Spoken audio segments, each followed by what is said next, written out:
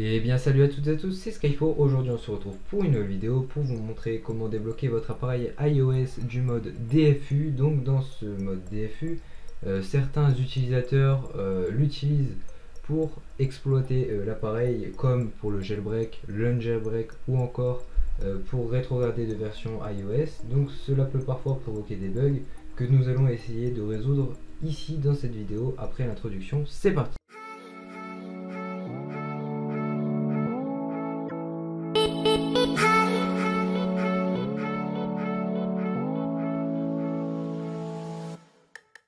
Donc voilà, euh, mon iPhone est bloqué euh, en mode DFU, donc nous allons voir dans cette vidéo deux méthodes euh, pour, pour essayer de le débloquer.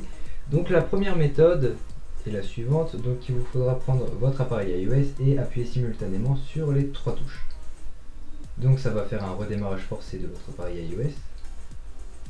Voilà, donc là vous relâchez. Donc là vous allez appuyer longtemps sur le bouton marche arrêt.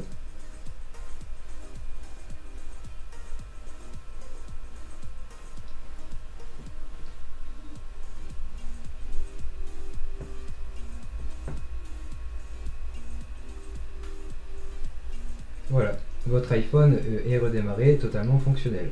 Donc maintenant, nous allons voir euh, la deuxième méthode si celle-ci n'a pas fonctionné. Donc pour ce faire, il faudra vous rendre euh, sur la page de tenorshare.fr qui sera disponible dans la description. Donc vous irez dans la catégorie produits et dans Raybot, réparation du système iOS. Vous allez cliquer dessus. Donc une fois sur la page, donc ici vous voyez tous les avantages du logiciel, vous allez cliquer sur télécharger.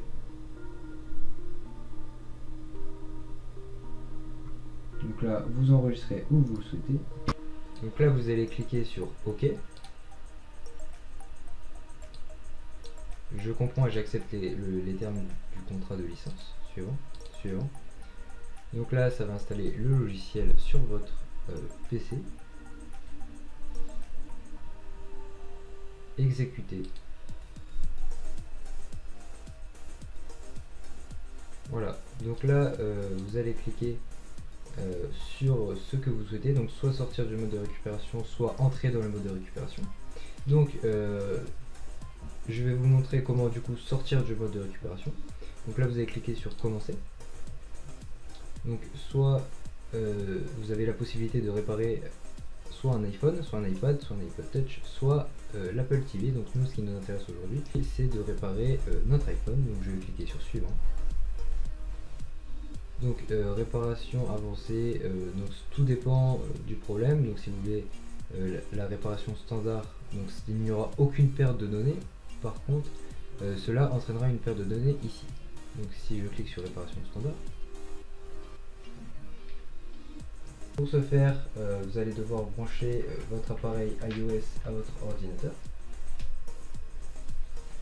Donc voilà, mon iPhone euh, a été reconnu par l'ordinateur en mode récupération, donc celui-ci bloqué. donc nous avons essayé dans la méthode 1, donc mon iPhone a redémarré. bien entendu, si le vôtre ne redémarre pas, la méthode 2 est fortement conseillée. Donc vous allez cliquer sur télécharger. Donc voilà, le package firmware de iOS 14.4.1 euh, est installé. Donc le euh,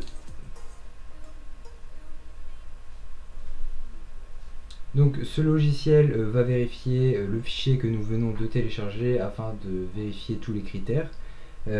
ensuite il va procéder à copier le firmware sur l'iPhone. Donc l'iPhone va vérifier si tous les fichiers sont corrects. Si ceux-ci sont corrects, le téléphone va se redémarrer puis se restaurer comme anciennement. A l'inverse, euh, il réparera euh, le problème en s'appuyant sur les fichiers qui ont été téléchargés. Voilà.